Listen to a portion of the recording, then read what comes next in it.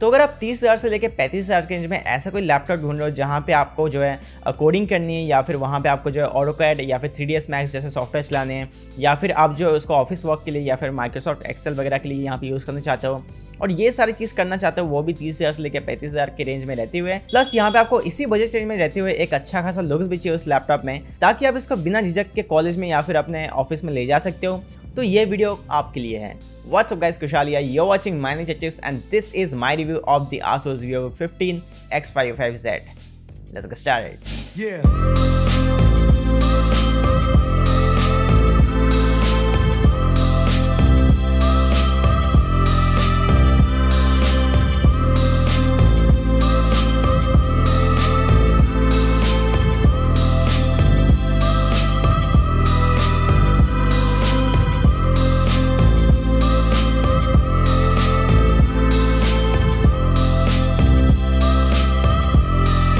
सबसे पहले प्राइसिंग की बात करें तो ये लैपटॉप आपको अमेजोन में देखने को मिल जाएगा अराउंड 34,000 से लेकर 35,000 के रेंज में। बट सेल के दौरान आप इसको पिक कर सकते हो अराउंड 31,000 रुपीज़ में। तो इन दी एंड अगर आपको ये वाला लैपटॉप पसंद आ जाता है तो बेस्ट बाय लिंक आपको नीचे डिस्क्रिप्शन में देखने को मिल जाएगा। वहाँ से जाकर आप डायरेक्टली इस लैपटॉप को परचेज कर सकते हो और हमारे चैनल को सपोर्ट कर सकते हो।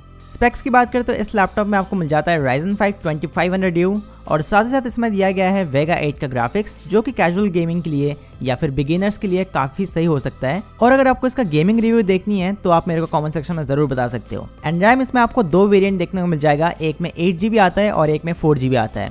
और ये वाला जो वेरिएंट है, ये एट जी वाला वेरिएंट है, जिसको आप एक्सपैंड कर सकते हो अप टू सिक्सटीन जीबी तक एक दूसरा एट जीबी स्टिक ऐड करके। SSD की बात करते हैं, इसमें SSD नहीं दिया गया है बट इसमें एक M T M dot two का स्लॉट अवेलेबल है, जिसमें आप बाद में जाके एक एम डॉट टू एस लगा सकते हो, और वो जो SSD का मज़ा है, वो आप बाद में जाके उठा सकते हो। और इसमें आपको वन टी हार्ड ड्राइव मिल जाता है, जो कि रन करता है five thousand four hundred R में। इसमें वाईफाई ब्लूटूथ दोनों ही इनबिल्ट मिल जाता है आपको एंड वाईफाई में डुअल बैंड का सपोर्ट भी दिया गया है तो अगर आपको फाइव गीगर्स वाईफाई का ज़रूरत है तो वो भी आपको इसमें मिल जाता है।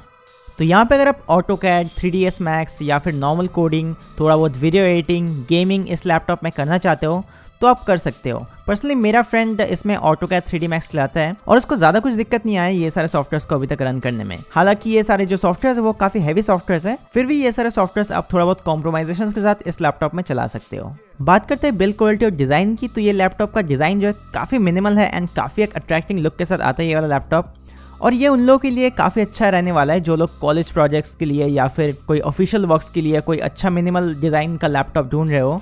इसका डिज़ाइन काफ़ी हद तक मैकबुक जैसा है, क्योंकि ये सिल्वर कलर में आता है प्लस इसका जो बेजल्स है, वो काफ़ी थिन दिया गया है, जो कि इस लैपटॉप को और भी अच्छा लुक प्रोवाइड करता है। सामने स्क्रीन के नीचे आपको एक आसूस का लोगो दिया गया है और स्क्रीन के ऊपर के साइड में यहाँ पे आपको एक स्टैंडर्ड क्वालिटी का वी जी दिया गया है, जिसका क्वालिटी के बारे में हम लोग बात नहीं करने वाले हैं, क्योंकि आई होप कि आप लोगों को पता है कि एक बजट लैपटॉप का वेब कैसा होता है।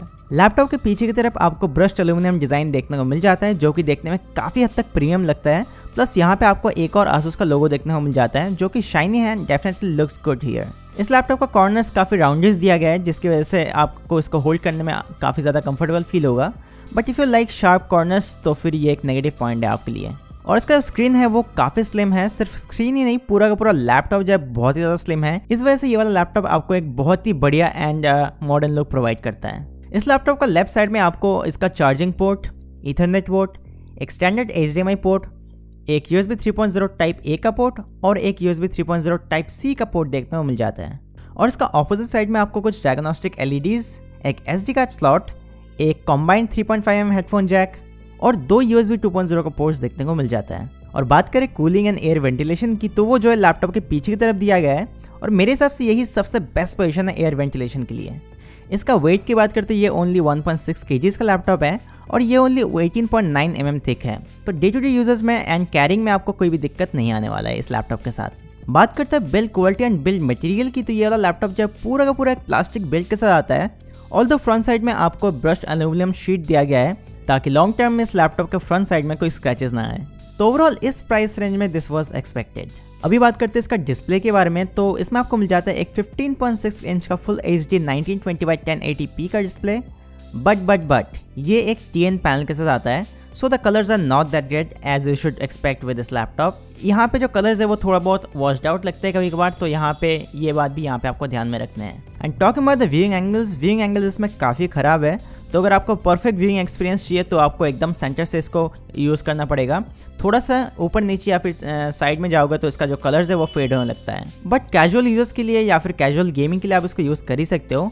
और अगर आप इसका डिस्प्ले से सेटिस्फाइड नहीं हो तो आप HDMI के ज़रिए आप एक्सटर्नल डिस्प्ले भी लगा सकते हो उसमें but one thing to notice that serious colour correction और colour grading can not be done with this type of screen बात करें इसका कीबोर्ड की तो बाकी लैपटॉप की तरह ये भी एक 60 परसेंट कीबोर्ड लेआउट के साथ आता है।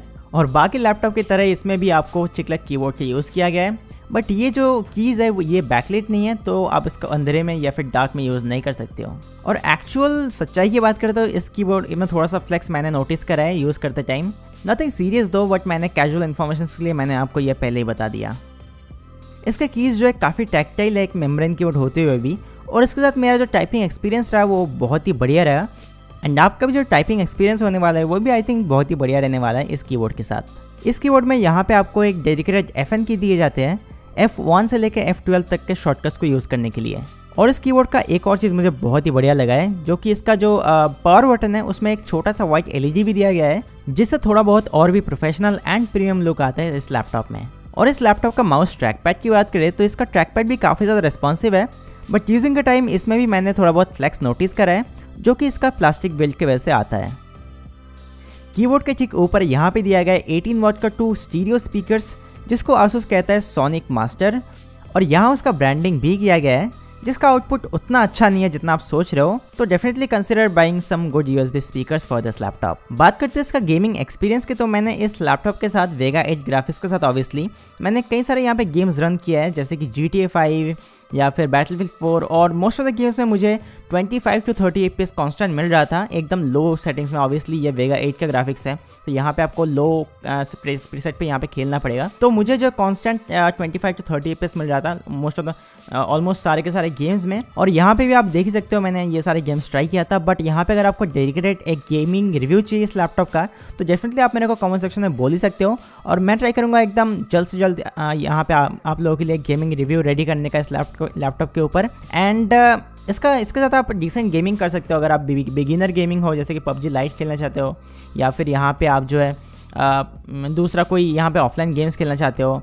फोर्टनाइट भी शायद से चल जाएगा बट मैंने फोर्टनाइट ट्राई नहीं किया है अभी तक. तो फोर्टनाइट शायद चल जाएगा बट यहाँ पे PUBG PC I mean PUBG PC lite यहाँ पे चल जाएगा। तो यहाँ पे डेफिनेटली अगर आपको एक प्रॉपर गेमिंग रिव्यू देखना है तो आप मेरे को एक बार बता सकते हो। I try to make that one too बात करते हैं इसका चार्जिंग टाइम और बैटरी बैकअप की। ये वाला लैपटॉप जो है फुल चार्ज होने में लगभग one hour twenty minutes to one hour twenty five to thirty minutes यहाँ पे ले लेता है with the provided forty five watt charger और वाइल यूजिंग हैवी एप्लीकेशंस और सॉफ्टवेयर ये वाला लैपटॉप जो है max to max two hours तक का बैटरी बैकअप प्रोवाइड करवा देता है। बट अगर आप कैजुअली यूज़ करते हो इस लैपटॉप को जैसे कि माइक्रोसॉफ्ट वर्ड करते हो या फिर कोई टाइपिंग करते हो या फिर कोई इंटरनेट सर्फिंग वगैरह करते हो तो यहाँ पे आपको at least two and half hours to three hours तक का बैटरी बैकअप ये वाला लैपटॉप आराम से प्रोवाइड करवा देगा। सो so, ओवरऑल ये वाला लैपटॉप जो है थर्टी फोर थाउज़ेंड रुपीज़ के रेंज में काफ़ी एक बढ़िया लैपटॉप है और ये उनके लिए काफ़ी बढ़िया रहने वाला है जिनको परफॉर्मेंस के साथ साथ एक अच्छा लुक्स भी चाहिए कॉलेज में या फिर ऑफ़िस में ले जाने के लिए या फिर कहीं पे भी मतलब पार्टीज़ वगैरह में ले जाने के लिए।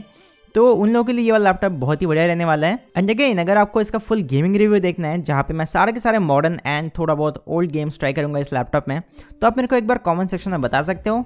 And I try to make that review ASAP ASAP बोले तो as soon as possible so that was pretty much guys अगर आपको ये वाला वीडियो पसंद है तो प्लीज़ इस वीडियो को लाइक करना चैनल पर ना तो यार क्या कर रहे हो? सब्सक्राइब कर दो इस चैनल को बेल आइकन दबा दो। और मैं आपसे नेक्स्ट वाले वीडियो में मिलता तब तक लिए बाय बाय Thank you